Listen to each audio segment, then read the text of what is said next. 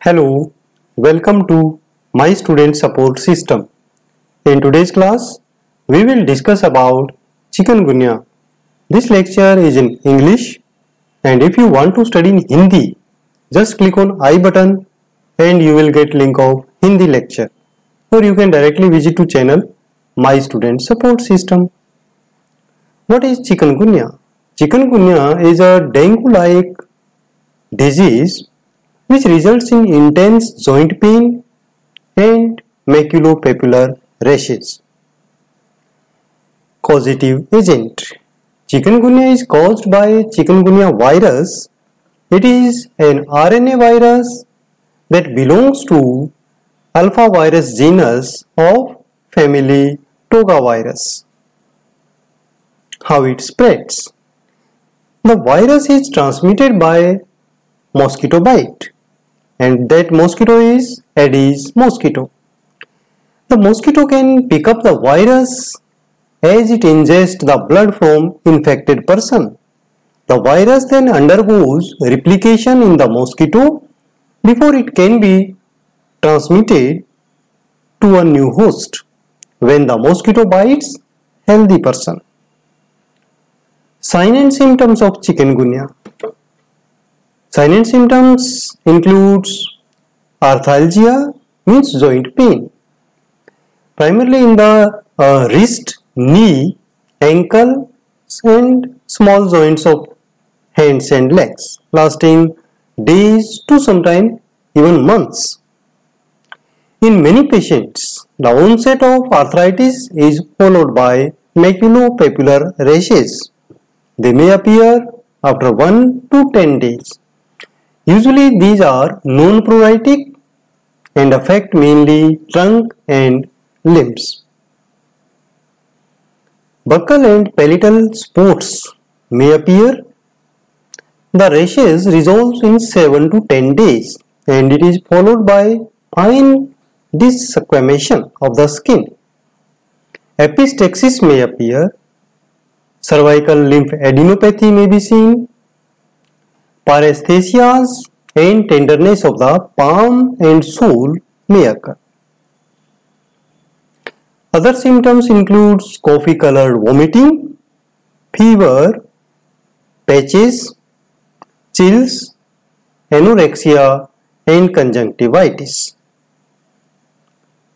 Diagnostic investigations. Serological tests such as enzyme linked immunosorbent assay ELISA may confirm the presence of IgM and IgG anti-chikungunya antibodies. The virus may be directly detected in blood during first few days of infection as well uh, by the RT-PCR test. Treatment There is no specific treatment for chikungunya and it is usually self-limiting disease.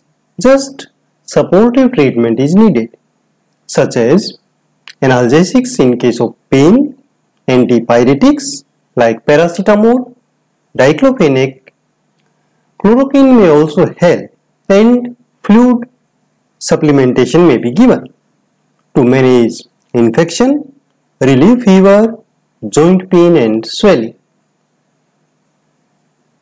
How we can prevent this disease? Like dengue and malaria, we can prevent chikungunya also by health education regarding prevention and control of chikungunya.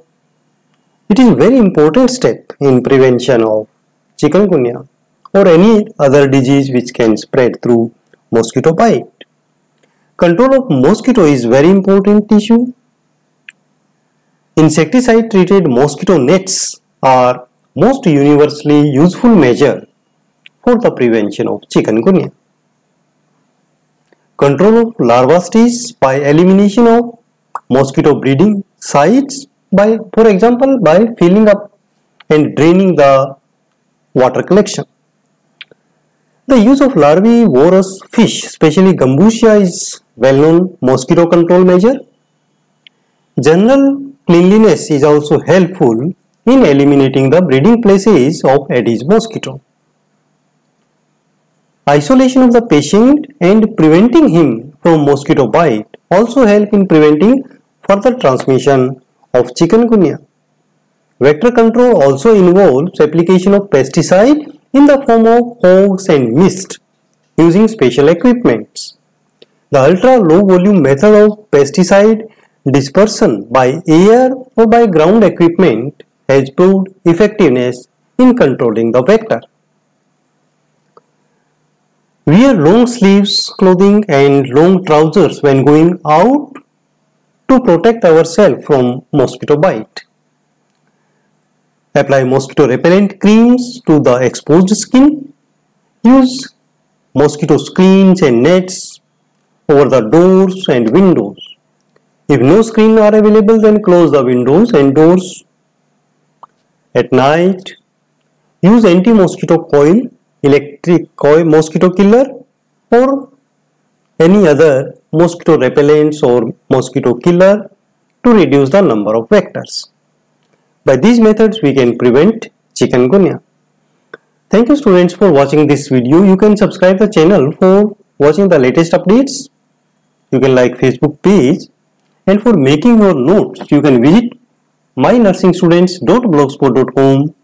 You can follow me on Twitter, Instagram and join Facebook group Nursing Notes. Thank you. Have a nice day.